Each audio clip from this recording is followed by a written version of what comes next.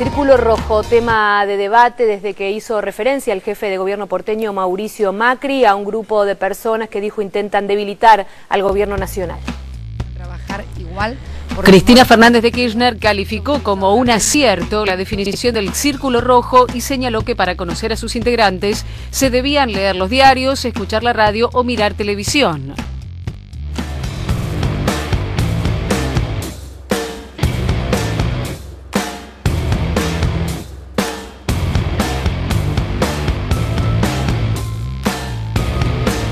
La presidenta citó, sin identificarlos, a banqueros, dueños de medios, gurúes económicos, empresarios, dirigentes sindicales y lo que llamó loros mediáticos, expertos en saqueos y viejos y nuevos políticos de la Argentina de 2001-2002 y de la década del 90.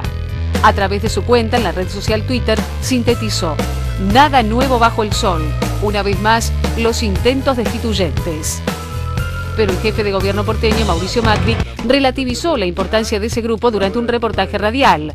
Evitó mencionar a sus integrantes, aunque admitió que se trata de gente altamente politizada.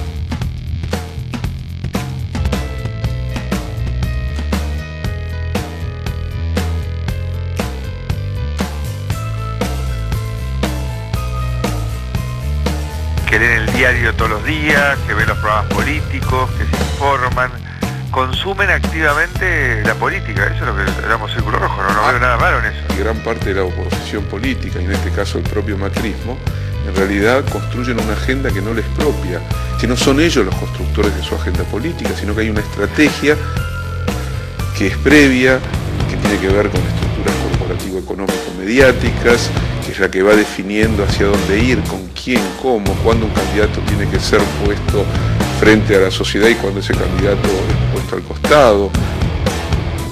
Porque hoy Massa y ayer Macri, pasado mañana eh, de vuelta a Macri, lo que Macri está diciendo es que una forma de la política en la Argentina es perversa, que tiene que ver con una estructura profundamente antidemocrática y que durante muchas décadas fue una constante en la historia política argentina.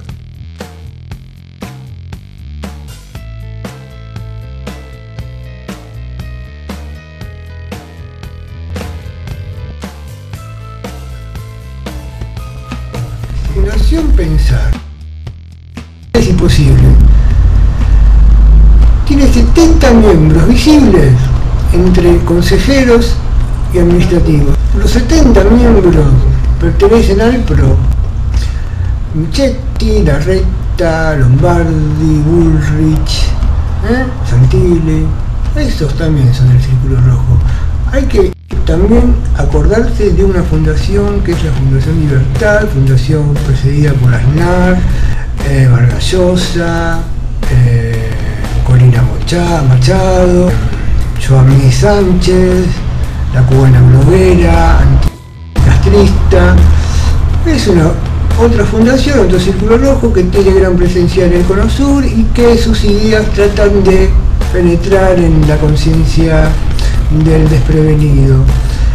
Eh, la Fundación FARC, por Dios, que se dice que es una fundación eh, privada sin ánimo de lucro, yo diría que todo lo contrario, tiene un- una gran participación en las redes, en, estos últimos cacerolazos, donde eh, se los nota muy destituyente. Tienen un lema muy singular que me causó gracia. Ellos dicen,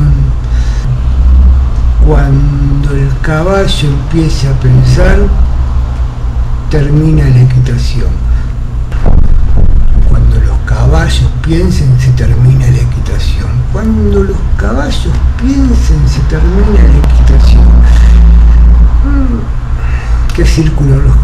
Nunca hay que olvidarse de la madre de los círculos rojos. El escudo. Escudo Rothschild, la familia Rothschild, la familia bancaria. Eso. El escudo rojo, madre de estos rojos.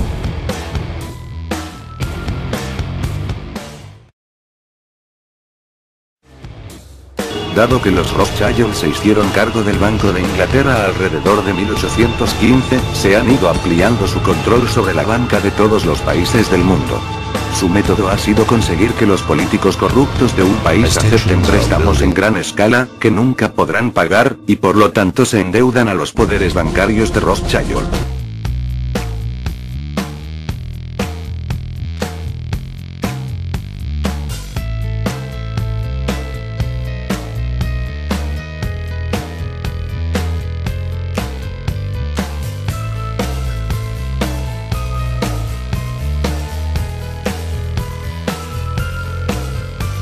Líder se niega a aceptar el préstamo, será derrocado o asesinado.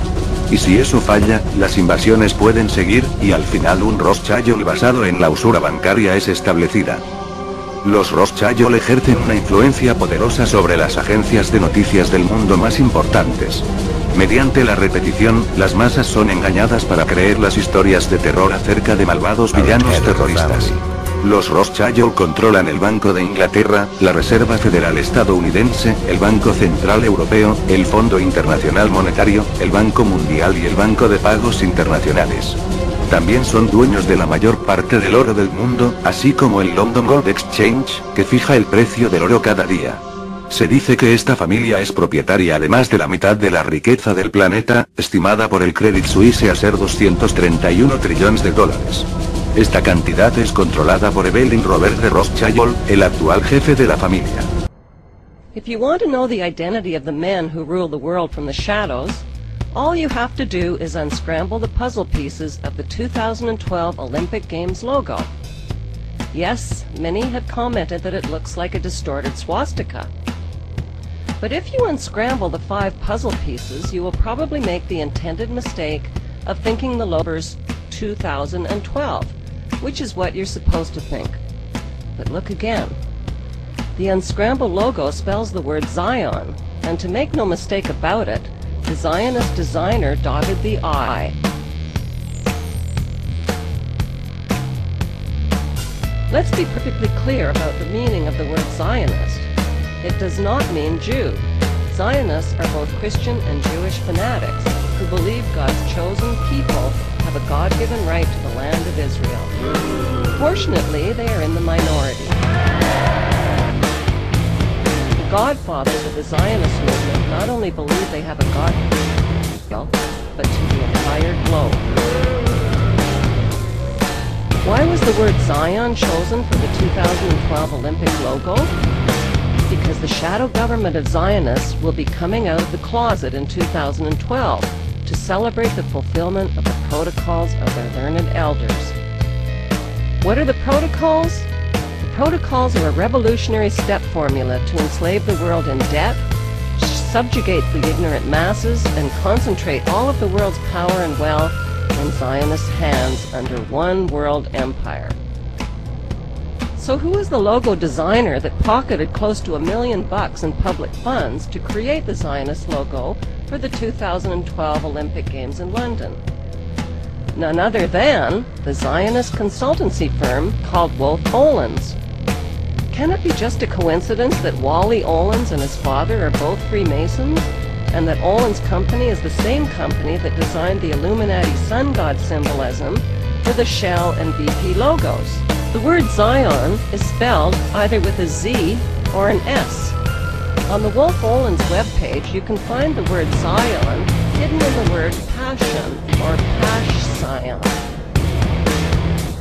Wally Olins left the Wolf Olins firm, which still bears his name, in 2001. But that doesn't rule him out as the ghost designer of the 2012 logo.